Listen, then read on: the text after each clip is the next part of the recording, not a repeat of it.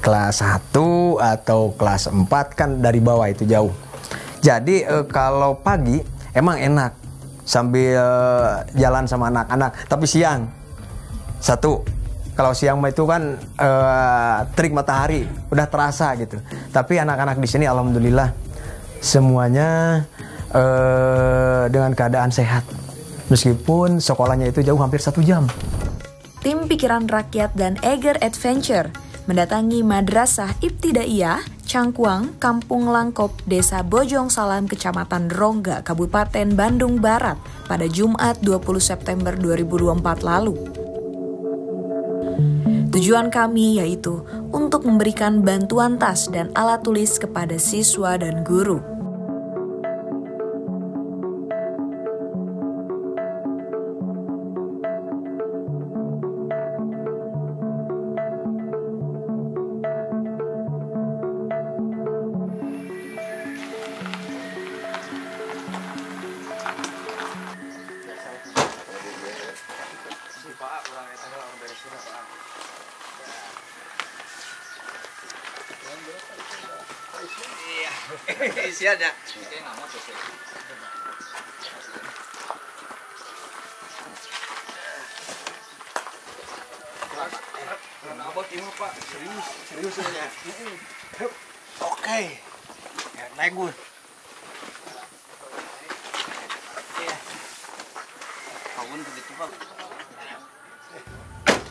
Namun, saat perjalanan menuju sekolah, kami haru melewati jalanan yang terjal lantaran sekolah tersebut berada di atas bukit.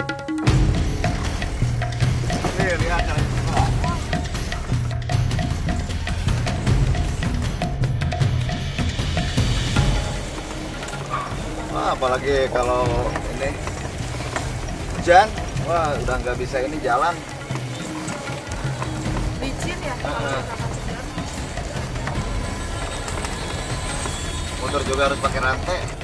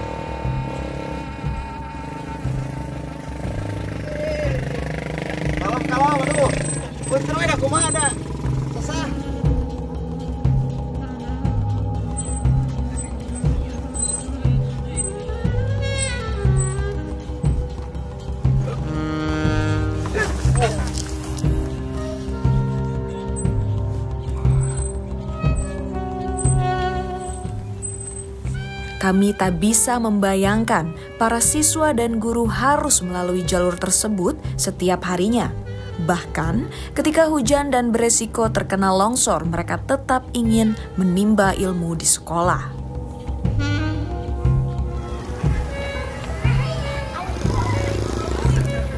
Saat kami tiba di sekolah, kami melihat banyak kerusakan pada bangunan sekolah. Namun, kami disambut hangat oleh para murid dan guru.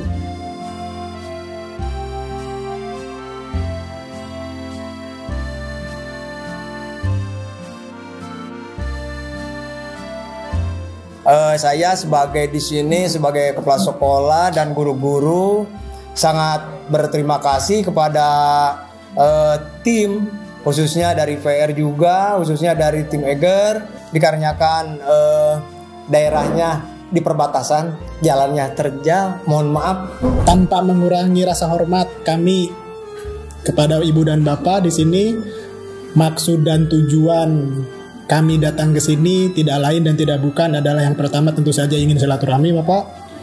Yang kedua ingin menyampaikan amanah begitu serah terima. Ini ada ya sekedik kecandakan di Bandung bapak. Mohon kanggo barudak di dia oke kanggo eh, ibu bapak anu ngawulang di dia penginten mudah-mudahan tiasa dimanfaatkan kanggo kasayan kurang sadayana penginten gitu sebetulnya apa yang visi misi perusahaan itu tidak ada hubungannya dengan dengan penjualan dan segala macam. Memang kita berupaya untuk apa yang bisa kita lakukan bermanfaat sebetulnya buat buat uh, seluruh lingkungan sama uh, masyarakat gitu. Nah, ini jadi salah satu perjalanan kita. Insya Allah nah dari sini tuh bisa berlanjut terus kolaborasinya dengan teman-teman pikiran rakyat juga. Kayak gitu.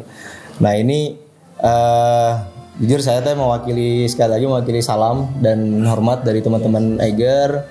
Terus uh, insya Allah semoga bisa nyambung lagi silaturahminya. Di sini juga saya bawa kebetulan bawa Kak Eben, Kak Eben memang ini mah bagian divisinya, bagian berjumpa dengan teman-teman di luar kantor. Gitu. Nah ini uh, apa namanya? Mas Eben mau ngobrol? Mau menyampaikan sesuatu? Semoga ke depannya kita semua bisa menjalin silaturahmi lebih baik lagi dan bisa ya melihat adik-adik ini tumbuh lebih uh, sempurna, lebih sehat, lebih pintar.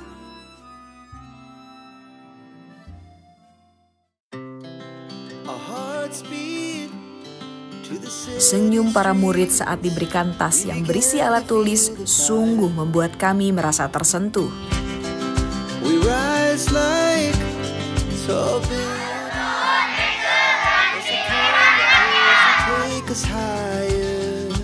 Ini uh, berterima kasih kepada pikiran rakyat dan Egar karena mungkin di jalannya itu terjal sekali mau memberi bantuan jalannya begini gitu ya. Terus eh, sekolahnya juga jelek gitu ya. Mohon maaf aja dari Pak Asep mungkin eh, terima kasih atas kebaikan bapak-bapak semuanya mungkin dari pikiran rakyat yang memberi jalan yang memberinya juga dari Ega mudah-mudahan kebaikan amal baik bapak ibu mungkin Allah membalas sesuai uh, apa yang diinginkan oleh Bapak semuanya.